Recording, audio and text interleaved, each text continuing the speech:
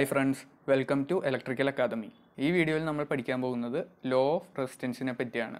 അതിനുവേണ്ടി ആദ്യം നമ്മളൊരു കണ്ടക്ടർ എടുക്കുന്നു. കണ്ടക്ടർ അല്ലെങ്കിൽ ഇൻസുലേറ്റർ എടുത്താലും മതി. കാരണം ലോ ഓഫ് റെസിസ്റ്റൻസ് കണ്ടക്ടറിനും ഇൻസുലേറ്ററിനും ബാധകമാണ്. കണ്ടക്ടറിന്റെ ലെങ്ത്തിനെ നമ്മൾ എല്ല് വെച്ച് റെപ്രസെന്റ് ചെയ്യുന്നു.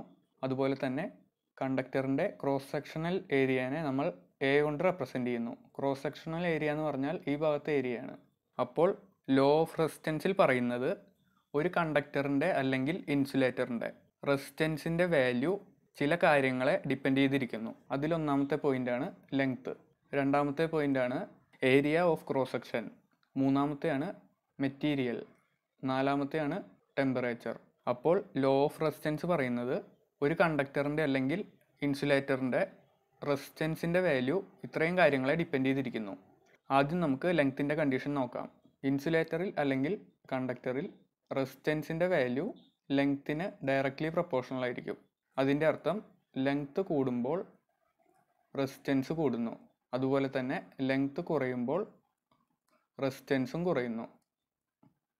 രണ്ടാമത്തെയാണ് area of cross section represent ചെയ്യുന്നത് എ വെച്ചാണ്. റെസിസ്റ്റൻസിന്റെ വാല്യൂ ഏരിയ ഓഫ് ക്രോസ് സെക്ഷന് ഇൻവേഴ്സ്ലി പ്രപ്പോർഷണൽ ആയിരിക്കും.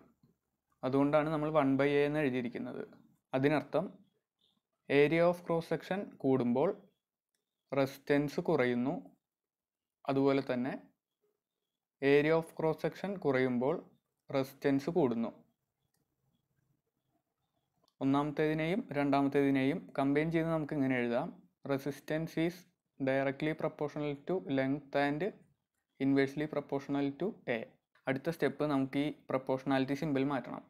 അതിനുവേണ്ടി resistance equal to a constant into L by A ഇവിടെ നമ്മൾ എടുക്കുന്ന കോൺസ്റ്റന്റ് ആണ് റോ റോ എന്നാൽ റെസിസ്റ്റിവിറ്റി ആണ്.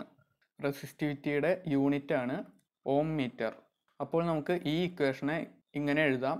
R equal to rho L by A material മാറുന്നതിനനുസരിച്ച് റെസിസ്റ്റിവിറ്റിയുടെ വാല്യൂ മാറിക്കൊണ്ടിരിക്കും. അതിനർത്ഥം കോപ്പറിന് ഒരു റെസിസ്റ്റിവിറ്റിയാണ് നിക്രോമിന് വേറൊരു റെസിസ്റ്റിവിറ്റിയാണ് അലുമിനിയത്തിന് വേറൊരു റെസിസ്റ്റിവിറ്റിയാണ് അതുപോലെ തന്നെ മെറ്റീരിയൽസ് മാറിക്കൊണ്ടിരിക്കുമ്പോൾ റെസിസ്റ്റിവിറ്റിയുടെ വാല്യൂവും മാറിക്കൊണ്ടിരിക്കും.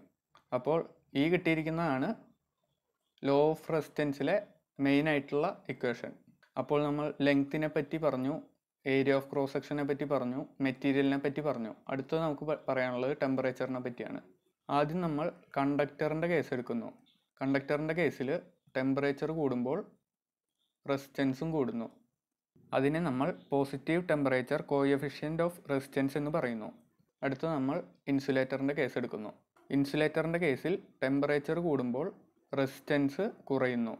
അതിനെ നമ്മൾ negative temperature coefficient of resistance എന്ന് പറയുന്നു. അപ്പോൾ ലോ ഓഫ് റെസിസ്റ്റൻസ് എല്ലാവർക്കും മനസ്സിലായെന്ന് വിചാരിക്കുന്നു. അടുത്ത വീഡിയോയിൽ കാണും വരെ. This is Adosh Kumar signing off from electrical academy